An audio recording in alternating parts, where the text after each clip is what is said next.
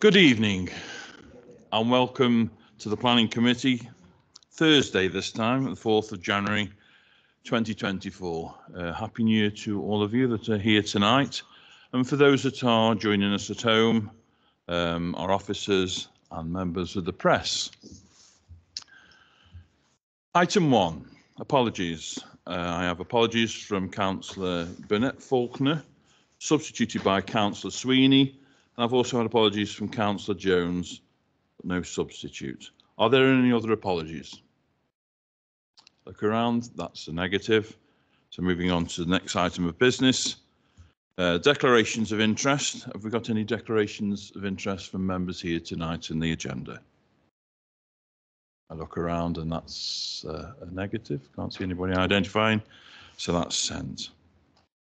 Item three of the agenda. Minutes of the previous meeting. Um, can we agree that that's a true and accurate record? If not, can we identify why now? Now, show of hands, please, in acceptance of that as a true and accurate record. Thank you. That's unanimous. Moving on to item four of the agenda. This application for major development, Ham Baker Flow Control, Garner Street, Etruria.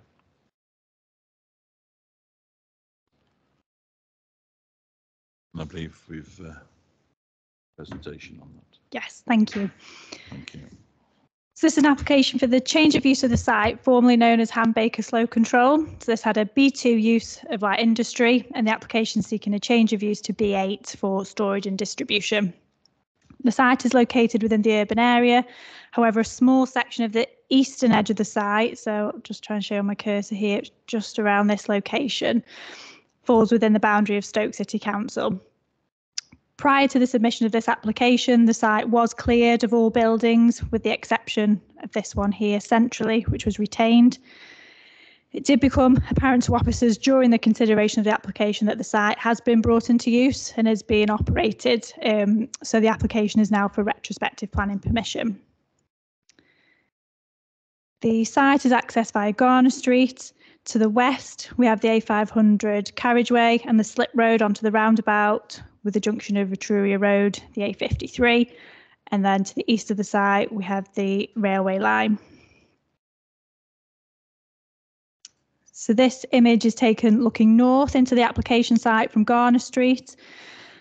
To the west, you can see the slip road here leading off from the A500. And then beyond this site here is the, the railway boundary. You can see here the modular building that's been installed to support um, the operations of the site. So again, this is another image taken from Garner Street looking northwards, but you can see here the extent of hard standing that's being used to support the, the parking of the HGV vehicles and staff. We've got the building here in a central position that's been retained and modified. And then again, just another image here slightly towards the east of the site. So you can see the railway line and the infrastructure just beyond the site boundary there. Hard standing here again for, for the parking of vehicles. So on this proposed site plan you can see centrally the building that has been retained. This is used for palletized storage. And there's been a small lean-to extension here on the west elevation. The modular building you can see just here it's just by the site entrance and then the remaining uh, the remainder of the site is all hard surface divided for parking for HGVs, trailer cabs and staff vehicles. So this is an elevational drawing of the building that's been retained in the central position of the site. The vehicle openings have been modified slightly, but all to use for access of HGVs to access um, palletized goods that are stored within the within the building. And then these are plans, elevations and floor plans of the modular building. So within there, you've got offices, a meeting room, and then kitchen and toilet facilities for staff. The site's located within the urban area and has historically been occupied for commercial purposes. The operations from the site, um, in your office's opinion, would continue to provide economic benefits for the borough in a location that would be deemed sustainable for development of this nature. There are no objections in terms of impacts on the wider landscape. The site, by its very nature, is industrial and sited in a position between large trunk roads and railways. There's only been a small amount of new development introduced, all of which are considered to be appropriate in their location and design. With regards to highway safety and traffic, the transport statement has confirmed that the site can suitably accommodate the proposed use without any adverse impact on the highway network. There's ample parking and manoeuvring space for vehicles, as well as a safe and suitable access point, and there are no objections from the County Council as the Highway Authority or Highways England, who are responsible for governing the operations of the A500. The site is not within a flood zone or an area of critical drainage problems, um, so no objections from the LLFA, the local flood authority have been received, and so on that basis, the application is recommended for approval. Thank you. Thank you very much for that presentation. Um, I believe we have a, a speaker who's in favour of the project, uh, the agent, Mr. Wolf. Would you like to come forward, sir? Mr. Wolf, just to remind you, you've got up to five minutes to make your case. And that's your sole contribution towards the evening's proceedings. You may start when you're ready. Press the button at the front, yes. Uh, Good evening. Uh, Thank you, Mr Chairman, uh, councillors, officers, ladies and gentlemen. Um, I would firstly like to um, thank your officers uh, for working proactively um, with us to bring this application to you uh, this evening with recommendation of approval. Um, I'm pleased that we're in a position where there are no objections from any statutory consultees. Uh, Just by way of background, you uh, may be aware that uh, Eddie Stobart's operated from their previous site adjoining Twyford Road, Hanchurch, near Junction 15 on the M6 for about 16 years. Uh, however, they were looking for a new larger base, which would allow continued investment and expansion to safeguard the existing jobs uh, for 150 people employed at that site uh, and create 75 more. Uh, the Hambaker site was identified as a perfect location. It's well connected to the strategic network, well resourced employment opportunities, it is in the North Staffordshire Regeneration Zone. It is planning policy compliant and uh, in a pro-investment authority. The previous business at the site had sadly gone into administration. Um, the proposal before you this evening provides new investment into the site, aids regeneration of the area, and it keeps the Stobart business in the region. Stobart Managing Director Neil Robotham highlighted the benefits of the site in a press release at the end of September, and I quote, North Staffordshire is a great place to do business. The site in Newcastle is perfectly located. We hope by securing successful planning permission, we will also be securing and creating many jobs for years to come. Uh, in the same press release, uh, Councillor Simon Tagg voiced his support for the scheme, stating that choosing to locate to the borough shows the confidence that companies have in the council to support business and help grow the local economy. It is fantastic news that Stobart have been able to find their ideal new depot in Newcastle, helping secure jobs in the current challenging economic climate. And your local member of parliament, Aaron Bell, also welcomed the move. He said, it is great to see a national brand like Stobart wanting to stay in North Staffordshire and find a new depot in Newcastle under Lyme. Securing the business and jobs is a testament to our plan to grow the economy, support residents and local businesses. To put some uh, broad numbers to these statements, the, the direct and indirect benefits of securing an anticipated 225 jobs in the North Staffordshire region will be worth in the region of tens of millions a year to the economy every year. There'll also be receipts of nearly a quarter of a million pounds from business rates. And to expand on the points about the location, um, as you've heard, the site adjoins the A500, with vehicles entering the site via the A53 junction on Etruria roundabout and rejoin the A500 along Garner Street on the next slip road to the south. Therefore, there'll be no adverse impact to the borough highways and no entry or exit within the city or to the west side of the A500.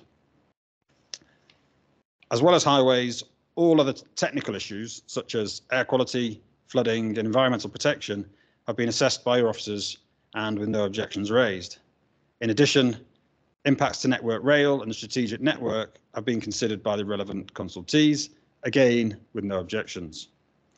I'd like to suggest that the scheme is a positive development for Newcastle under Lyme. It aids regeneration, creates long-term investment, and secures jobs and economic growth for the future. I hope that committee members are able to support this application. Thank you for listening. Thank you, Mr Wolf. You may join your seat. Thank you. Before I open it up to members for comment, um, I would just like um, to check with our officers that we uh, that we're satisfied in terms of the access uh, and exit arrangements in terms of the amount of traffic that we're going to have at that point and on the roundabout that that's going to be robust enough to take the traffic. Thank you. Yeah, thank you. So it is supported by a transport statement, which has accounted for a worst case scenario of a B8 use on a site of that this scale. That's found that there would be an additional 15 two-way trips in the PM weekday peak period, which equates to a, around one vehicle every four minutes, I believe the statement suggested. Um, the Highway Authority have had sight of this statement, as have the as have Highways England, and are happy with um, those additional vehicle movements.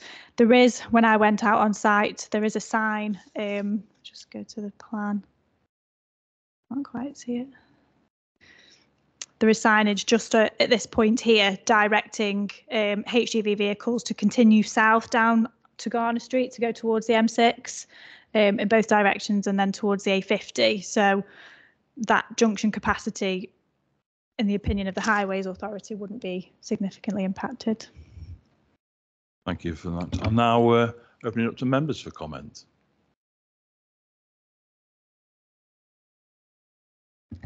Um, Sorry, Sorry. Yes, go ahead. Will the um, HGVs actually be using the junction with the E road, um, as in going underneath the flyover and coming out onto the A53, or will they not be going that way? Thank you. I'll come back on that. Thank, thank you. Um, there's nothing within the submission that indicates that the vehicles won't be travelling in a particular direction. From when I was out on site, it appears they are being encouraged in order to get to the M6 and the A50 to continue down Garner Street. But at the same time, when I was on site, there were HGV vehicles coming out onto Garner Street and onto the A53. Um, it, it's not unusual for HGVs to use that junction because the previous use was industrial, so there will have been vehicles of that size using the junction before anyway. Um, the development will be increasing the number of vehicle movements slightly, but not to a point where we feel there's going to be a, a negative impact. Thank you. Having lived on Garner Street, um, that junction was always a bit of a problem, and um, there has been an objector, hasn't there, who's um, commented that that could cause difficulties because I would assume HGVs are quite slow at pulling out there, and you've got traffic coming quite rapidly off the A500 to that junction. So that would be my only concern, really. Otherwise, um, I totally welcome the business down there. Thank you. Thank you, Councillor. Councillor Fear. Thank you very much, Mr. Chairman. Yeah, I, I, I think highways is the only matter at stake here. Um, my concern, I think, is less about the flow of stuff and, and the, the hammer that the road surface might take at this point in time. But given that the Highways Authority have had sight of this, uh, I think it would be very difficult to sustain an objection on those grounds. And therefore, um, although I am slightly annoyed that this is now a retrospective thing and um, that, you know, we, we should be sending out a message that we do not approve of retrospective um, applications. Nonetheless, in these circumstances, I'm happy to remove the recommendation as printed. Thank you, Councillor Fear. Have got anybody speaking? Councillor Gordon. Uh, Thank you, Chairman. Um, I read the transport statement with with great interest, um, but my confidence in it was shaken a bit because um, I live very close to this to this site and I know the local bus route really well, and the details given in the statement just aren't correct. You know, certainly it's accessible, but you try getting a um, a bus. Um, from either um, um, Newcastle or Hanley after seven o'clock, and you'll be waiting a very long time. And we haven't had a four uh, four B bus, Chairman, for for some considerable time. So I don't know who sort of checks these things, but I wish they'd get them right because, to be honest, you sort of sit there and you read these things and you think, well, if they got that wrong, could other things be wrong? But having said that, Chair, I uh, I wouldn't I wouldn't push that as a, an objection. It's just a, a bit annoying when you notice that some of these details on these reports just aren't right. Thank you, Councillor Gorton, and, and I, sh- I share some of your concerns that some of the uh, the transport statements um, concerning public transport are not as accurate as we've seen uh, recently with um, the Baldwin's Gate application um, and many others that uh, we could draw upon. That maybe we can we can press for that to uh, be more robust in the future from those that author such things. Um, I can't see any more hands being raised. We've had a proposal to um, to approve the application. I'm quite happy to uh, to second that from the chair. Um, and I share, Councillor Fear, your comments regarding the retrospective uh, nature of applications. But I think in this case, um, I think I'd be minded to look favourably more on this application, being that it's providing uh, such economic uh, benefits um, to the um, vicinity and the neighbours of Newcastle and beyond. Um, so I'm quite happy to put that through um, as a seconder uh, to your proposal, Councillor Fear. So we've had a proposal and seconded. Uh, can I see a show of hands, please, in favour of this? And that is unanimous. Thank you very much. That item is approved. Item five on your agenda, application for other development, Car Park Meadows Road, Kidsgrove. Uh, this item includes a supplementary report. Have we got a we got a presentation on this? We have a presentation, councillors, on this.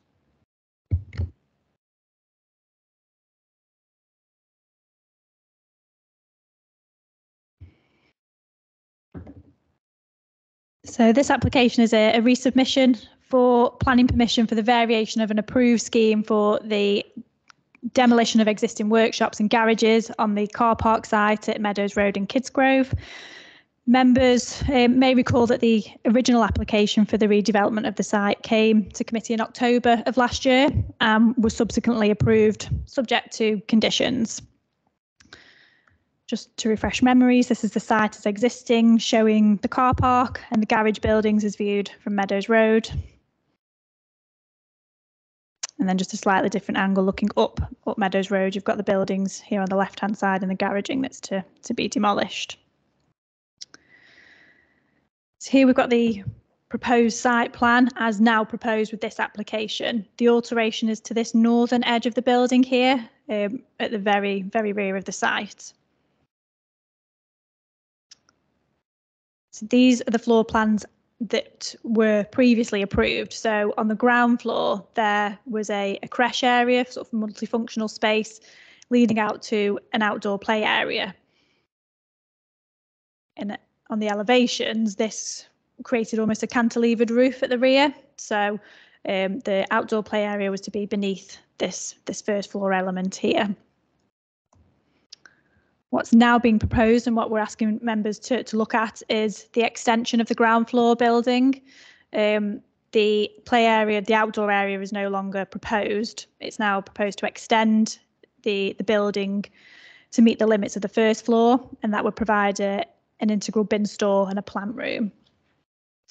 So as you can see, it's this this elevation here, infilling this corner of the building in, in materials um, to match, which were conditioned to be red previously, and that, that has carried through.